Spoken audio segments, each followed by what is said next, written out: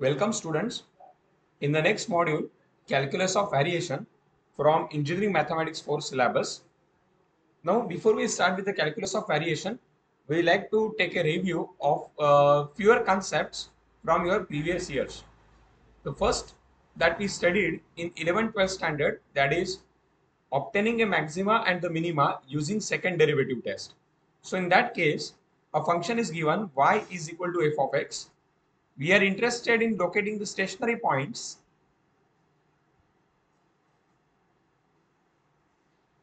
That is we are expecting the maxima and the minima of the function y is equal to f of x which satisfies the condition df uh, dy by dx is equal to 0 is it? Then in semester 1 we come across with the functions of type this. Z is equal to f of x comma y.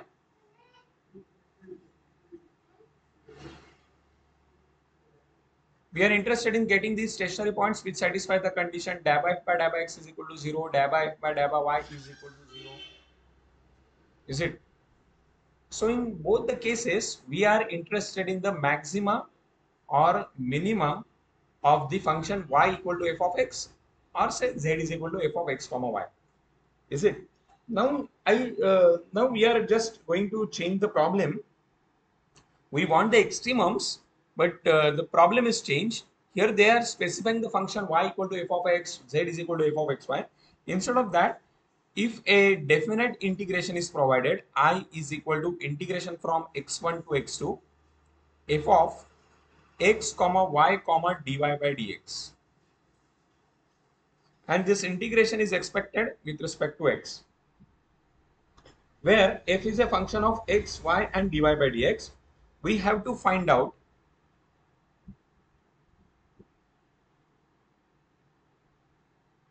we have to find out y is equal to f of x. That is, we have to find out a curve y is equal to f of x or you can say the function y is equal to f of x for which the above definite integral may be a maximum or minimum.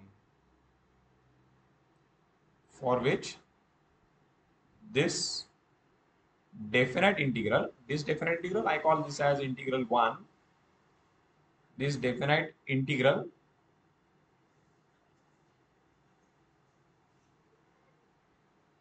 definite integral 1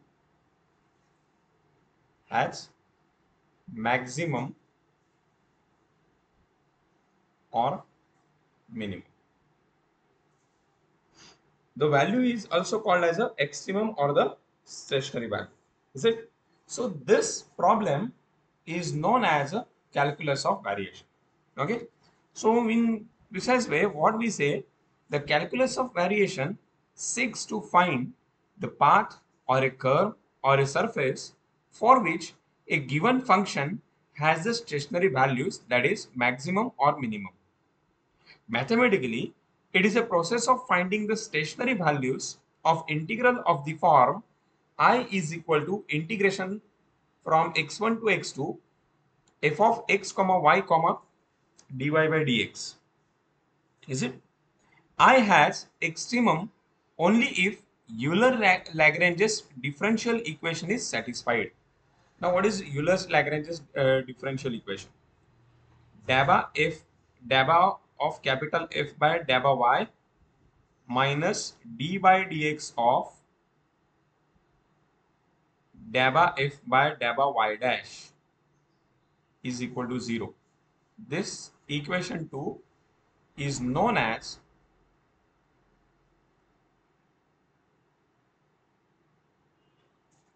Euler Lagrange's equation. Okay. So again you can see the integral i has the extremum only if the Euler Lagrange's equation is satisfied. Is it? So that means we are interested in calculating the y is equal to f of x which satisfies this equation. Is this okay? Fine. One example I would like to discuss with you what exactly going on here, what we are going to do uh, in the in the, in the next. See, suppose we have the two points in a plane. The point A, x1 comma y1 and the point B, x2 comma y2 are two given points in the plane are points in plane. It is required to find a curve passing through a comma b. It is uh, required to find curve passing through AB such that if the curve is rotated if the curve is rotated about x-axis about x-axis it will generate the surface whose area whose surface area is minimum. Fine. So in that case what we do? Y is equal to f of x be any curve which is passing through the point AB. The surface of the solid generated by re revolving the curve y is equal to f of x between A and B about x axis is given by y is equal to f of x be any curve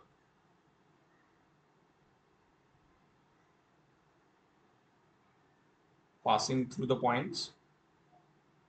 AB. So surface.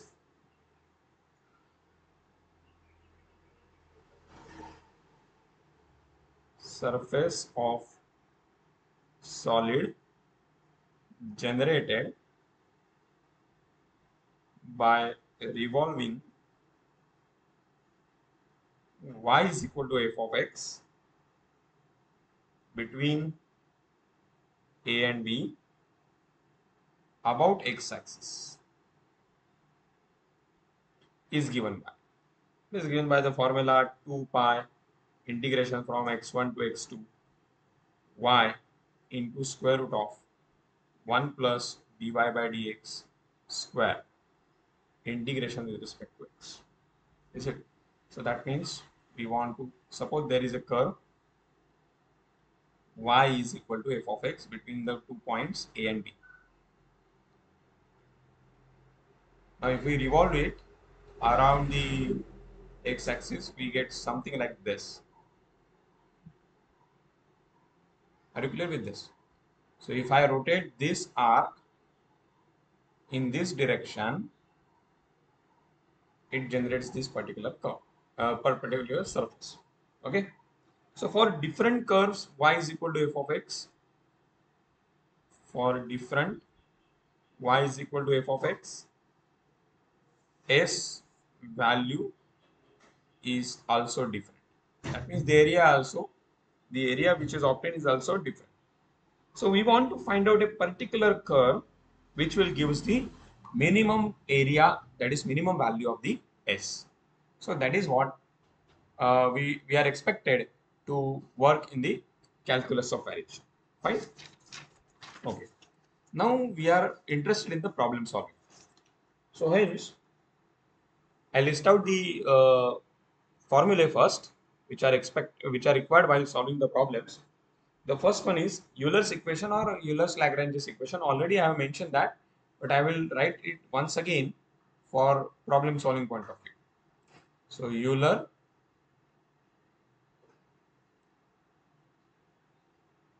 Lagrange's Lagrange equation.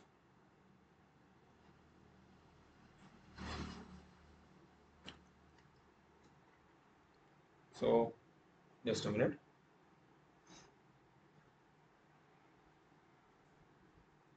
y is equal to f of x, small f of x, I am purposefully writing, makes i is equal to integration from x1 to x2 capital F of x comma y comma y dash or you can write dy by dx instead of y dash. Integration with respect to dx in integration with respect to x and extremum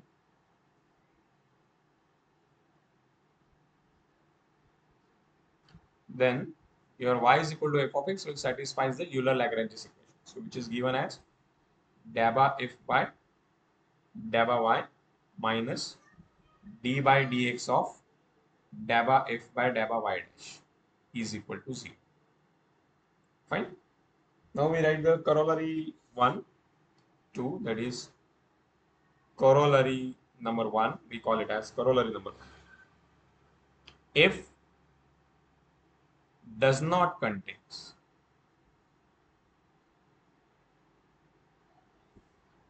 y explicit.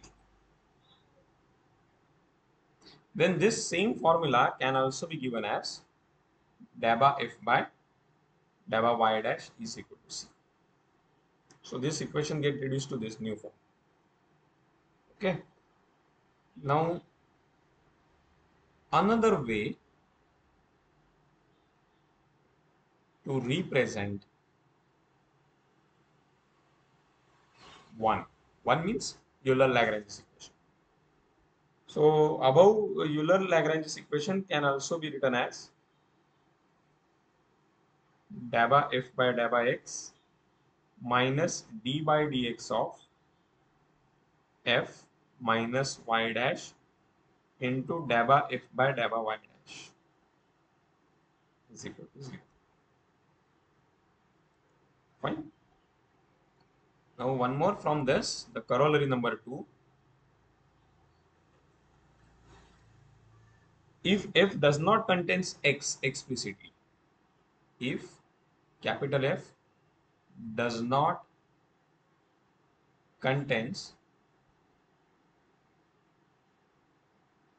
x explicit then Euler equation then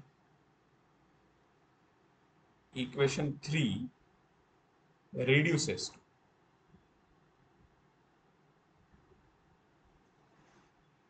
The equation 3 reduces to f minus y dash into dabba f by dabba y dash is equal to 0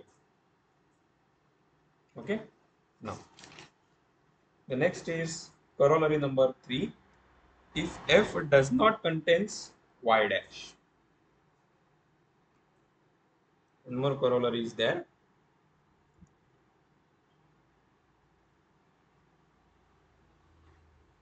F does not contain y dash. Is corollary 3 then it is given by dabba f by dabba y is equal to 0 so this is one formula this is another one this is another one. See different different uh, representation for your Euler Lagrange's function. Is it? Now one more form we can give. I'll mention that it here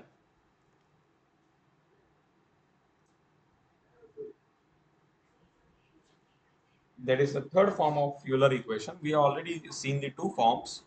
So the third form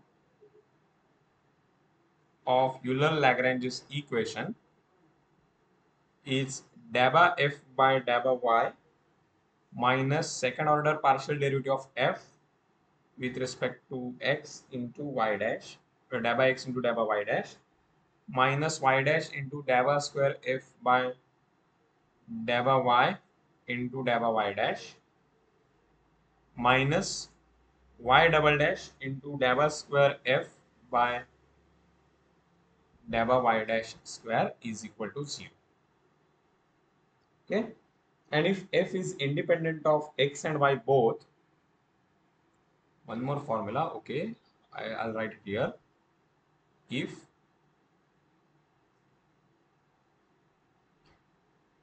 f is independent of x and y then y is equal to ax plus b.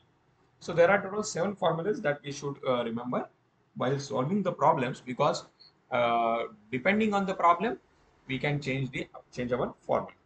Is it? So let's come up with the first example.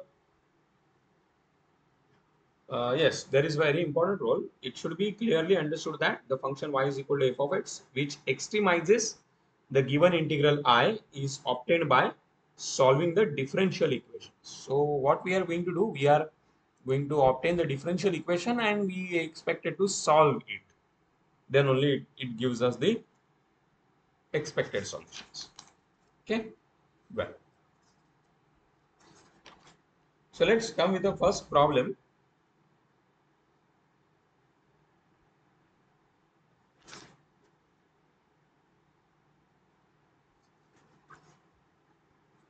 I'll, I'll discuss the problems mainly from the university examinations. So let's come to this. Find the extremal of the function. Find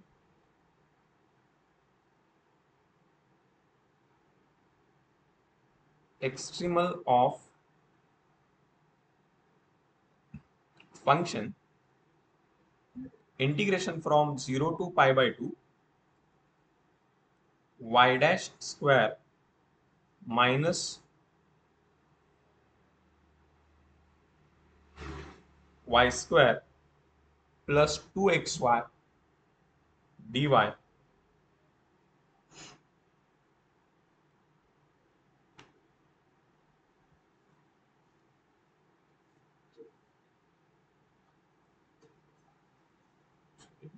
Dx 2xy dx with y of 0 is 0 and y of pi by 2 is equal to 0.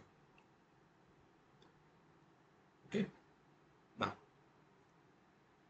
now look at, at your Euler's Lagrange's function. What is Euler's Lagrange's equation? Integration the i is an integration given as integration from x1 to x2 capital f of x comma y comma y dash. Integration with respect to x. As extremal if it satisfies the Euler Lagrange function that is daba f by daba y minus d by dx of daba f by daba y dash is equal to 0 fine. Okay. Now you can just compare with your given extremal.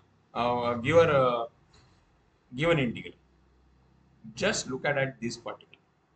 This is your capital F function. Now what are the terms involved in it?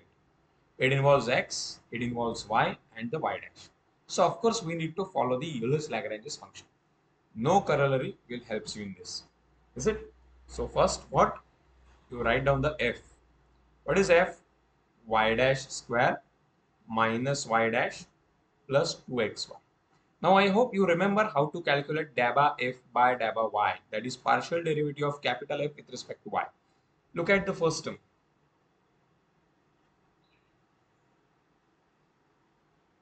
Just a minute. I made a small mistake over here.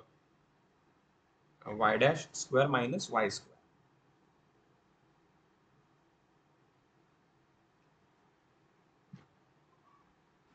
Okay, now look at here. In the first term, do you have a term of y? No. So derivative of it is 0 minus y square. What is the derivative of y square with respect to y? It's minus 2y. It's a 2y. So we get minus 2y plus 2xy. So here the y is present. What is the derivative of y term? 1. So 1 into 2x. So what is daba f by daba y? Minus 2y plus 2x. Now we want daba f by daba y dash that is a partial derivative of capital F with respect to y dash.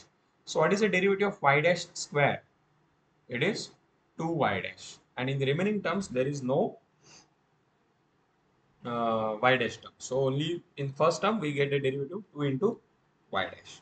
Are you clear with that? So therefore by Euler Lagrange's equation.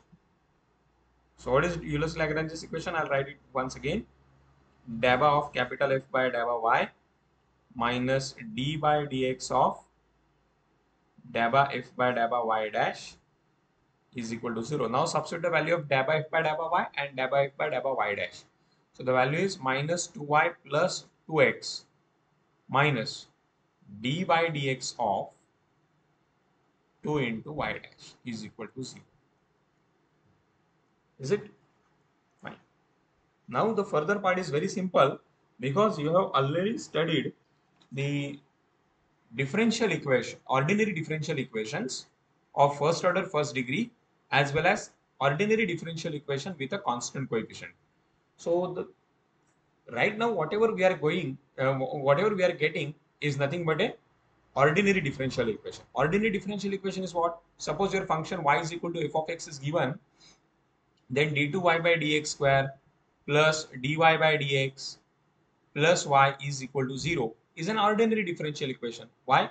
See, your function is of single variable x and hence we get the ordinary derivative dy by dx. Are you clear with this? So in the semester 2, we have studied the same concept that is so uh, how to find a solution of ordinary differential equation. So rearrange the term. Now look at this. What is it? It is 2 in 2 times d by dx of y dash.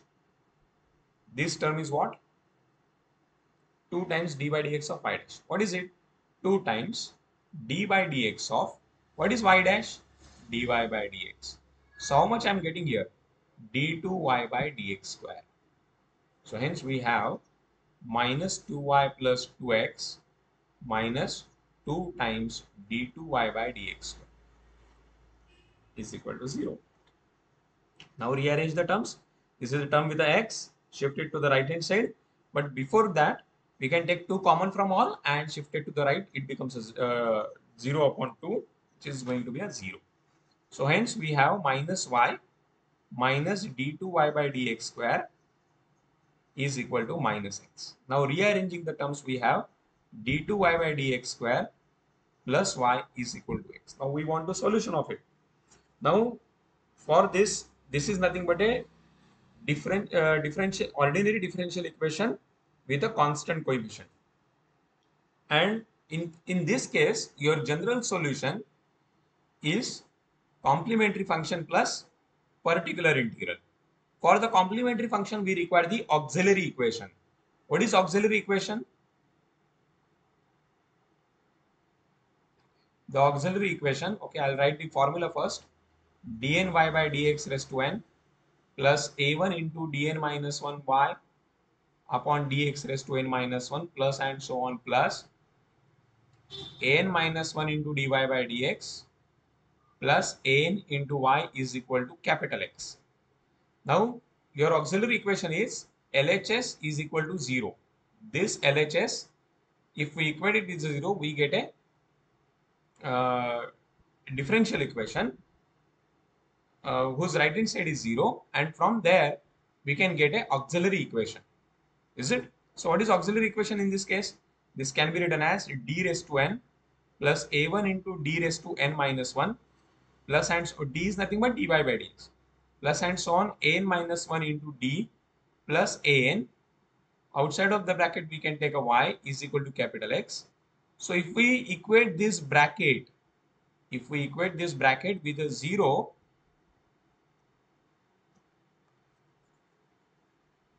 we'll get a auxiliary equation.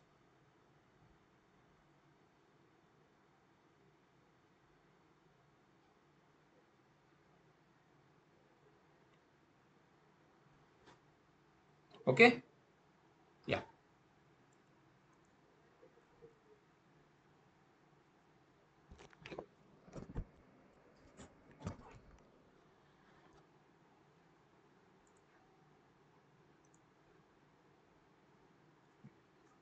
We get a auxiliary equation.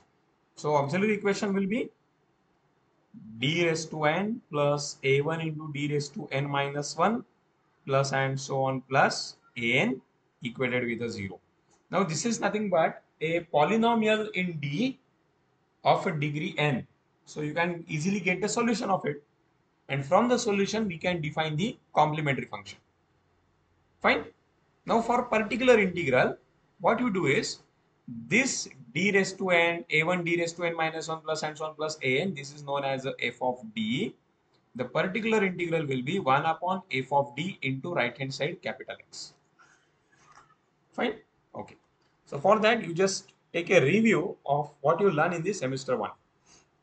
So and this is nothing but d2y by dx square which can be written as d square y plus y is equal to x which can be written as d square plus 1 into y is equal to small x. Fine. So now we want to find complementary function.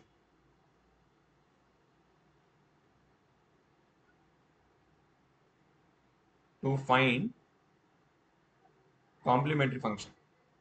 Therefore, the auxiliary equation is d square plus 1 equals to 0. Therefore, d square is equal to minus 1. Therefore, d is equal to plus or minus i.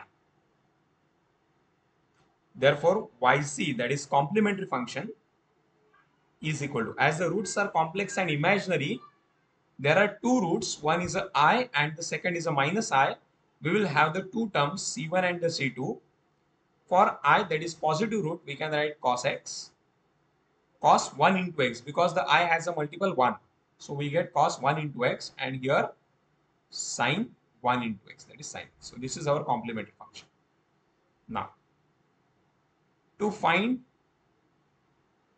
particular integral that is yp is equal to 1 upon f of d into x. What is f of d? 1 upon d square plus 1 into small x. Now, as your capital X is a algebraic function, that is x, small x. Your capital X is what? Your small x, a algebraic function. Hence, what we do is, we take this as 1 plus d square raised to minus 1 into x. So, with the help of 1 plus z raised to minus 1 that is 1 minus z plus z square minus and so on we can expand this so we get 1 minus z z is nothing but here d square so 1 minus d square plus z square that is d square square plus and so on into x let's multiply by x to this bracket but see d square is what d, d square by dx square of what? x. What is the value? 0. Why? The x has a first order derivative 1, second order derivative will be 0. So all the terms onward this are going to be a 0. So we get only x as a y. Are you clear with this? So hence the solution is, okay, I call this as star. The complete solution is y is equal to yc plus yp that is c1 cos x plus c2 sin x plus x. Now our role is to find out the value of c1 and the c2 for which we need to use the initial condition given in the problem. What are the conditions? y of 0 is 0 and y of pi by 2 is equal to 0. So when I say y of 0 is equal to 0, that is when x is 0, y is 0. Therefore, y is equal to c1 cos x plus c2 sin x plus x. Put x is equal to 0 and y is equal to 0 in this, we get 0 is equal to c1 into cos 0 plus c2 into sine 0 plus 0. Cos 0 is 1, sine 0 is 0. So these two terms are going to be a 0. Hence we get c1 is equal to 0. Okay. Second is y of pi by 2 is 0. That means when x is pi by 2, the value of y is 0. Hence, y is equal to c1 cos pi by 2 plus c2 sin pi by 2 plus pi by 2. So when x is pi by 2, the y value is 0. So I will substitute here 0. So which gives me C1 into cos pi by 2, cos pi by 2 is 0, so this is 0, sin pi by 2 is 1, plus C2 plus pi by 2. So this implies C2 is equal to minus pi by 2. Therefore, my solution y is C1 that is 0 into cos x minus pi by 2 into sin x plus x. But 0 into cos x is always 0. So we get minus pi by 2 into sin x minus pi by 2 into sin x plus x is the function expected in this problem that is uh, the extremal of the given integral is y is equal to minus pi by 2 sin x plus x. So this is the expected solution in this problem. We will do more and more problems in the next lecture you just take a review of this problem and whatever we learn about the calculus of variations again and again. So it will help you while discussing the problems in the next session. Thank you.